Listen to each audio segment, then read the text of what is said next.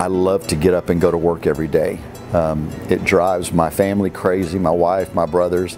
You know, they all have jobs that they like, but they don't love to do it. When we're fishing a billfish tournament, I can't sleep two days before that because I'm so excited about going to work. Uh, very few people get to do something that they enjoy so much and get paid for it. We typically fish six or seven tournaments a year. Um, the average tournament is between five and ten thousand dollar entry fee, and then they have optional cash divisions, which is at Calcutta, and you can end up spending anywhere from twenty to forty thousand additional in those divisions. So you may have fifty thousand dollars bet on the weekend. I started on deck, and then I came back to New Jersey after a couple years, and I started longlining for tuna and swordfish. And from there, I ended up purchasing a vessel, which is called Defiance, which I actually have and still operate today. On an average year, we will produce 100,000 pounds of high quality sword tuna and mahi. This, this is actually marketed everywhere from Japan to the higher end restaurants in New York, Boston, all over. We fish year round. Um, charter fishing's about seven months out of the year, and so I charter fish in the summertime and commercial fish in the winter. The big difference between commercial fishing and charter fishing is your motivation when you leave the dock. In charter fishing, you're just taking people out, recreational fishermen, for an opportunity to catch some fish. And you know, it's, it's about the experience um, and, and, providing a, a, a good mess of fish. Commercial fishing is you don't get paid if you don't catch them. In charter fishing, you can have a slow day and you still get your day's pay. Some of the challenges being associated with being a professional fisherman is just being a professional fisherman, just being a fisherman in general. Whether you're a recreational fisherman or a professional fisherman, you still got to figure out how to catch a fish. When we go out into the Gulf where there used to be 20 boats fishing in an area, now there's 100 boats fishing in an area.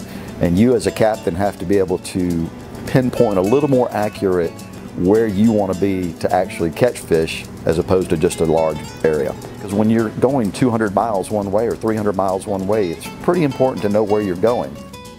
It didn't take long for me fishing to realize that the habitat was all about finding the right spot because 90% of the fish live in 10% of the ocean. So the sooner that I could find that out, I realized that we actually started doing much better. And the equivalent of looking for fish without having some way to narrow that search down is like using a barroom straw and going out in the parking lot and looking for a marble that is rolling around, especially looking for mackerel, all schools of fish. Everything we chase is highly migratory. They don't live in one spot. So that's why you have to find the existing conditions.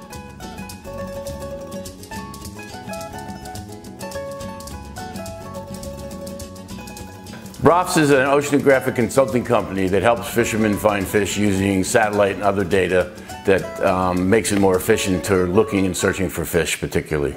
Fishermen need tools and data products because the ocean's a big place. So if you're leaving the port, you can go either five miles offshore or, or, up to 150 miles offshore, and you don't know that until you leave. There's no indication from the sky as a fisherman where the fish are likely to be, so each day it changes. So fishermen need to know whether they go left, right, or straight when they leave the port. So fishermen, they either want to, in the case of recreational fishermen, to find out where the locations of fish are before they leave the dock. They want to save time. They're out there to, to play with the fish, catch fish, and bring them home. In terms of a commercial fisherman, they don't want to waste time in terms of fuel. If they're burning more fuel by going left an hour or two and they really needed to go right an hour or two, they will save themselves a lot of money by going directly to the fish um, using our service and the oceanographic information that we provide.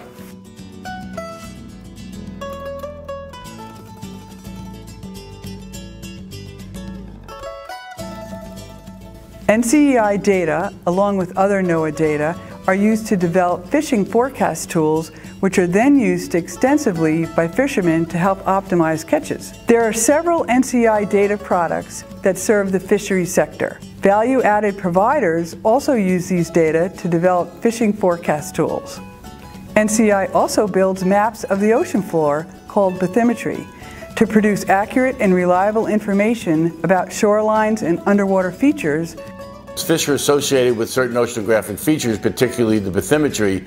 Having that bathymetry is critical for our use in our, in our forecast and understanding where fish concentrate. When we have current pushing into certain uh, of the bathymetry, then that typically results in a concentration of fish. If we have currents moving away from the bathymetry, then the fishing action dissipates. So bathymetry is, is really critical for us to have. The most successful win we've ever had was the Biloxi tournament last year.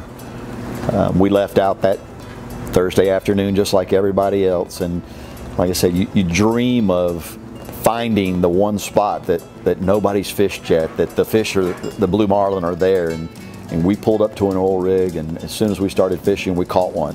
Roffs in, in that specific tournament helped me a lot by knowing which rigs I wanted to be at just because of the fact they were closest to that temperature break.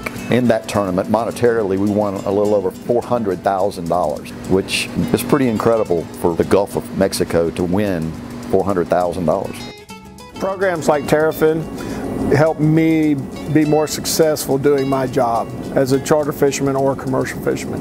It gives me real-time information or near real-time that I can assimilate myself.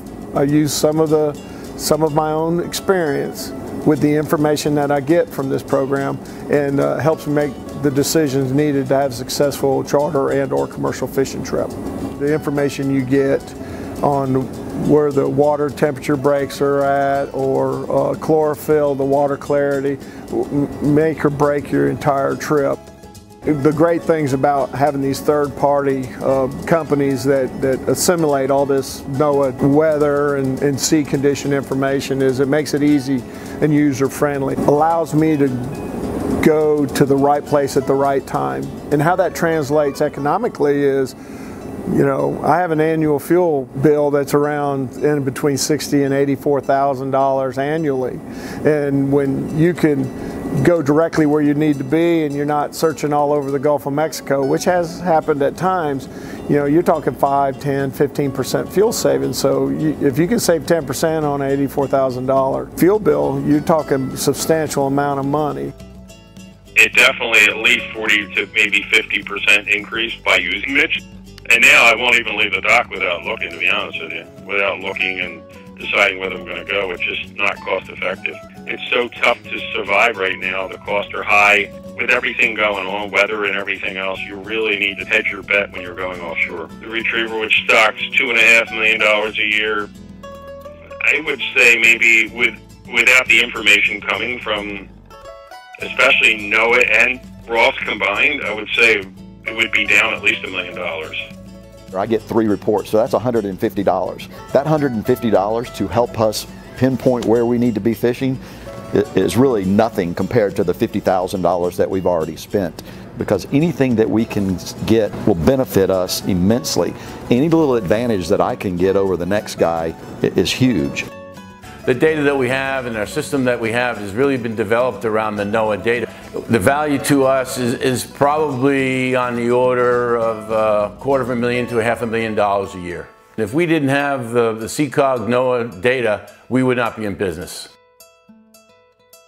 To think that we're going 300 miles into the Gulf of Mexico, that, that's halfway to Mexico. And, and we feel good when we leave and we're going that far. We know where we're going. We know there's a, a eddy there to fish or we know there's a break there to fish. Um, that would never have happened 20 years ago with the, the things that we had.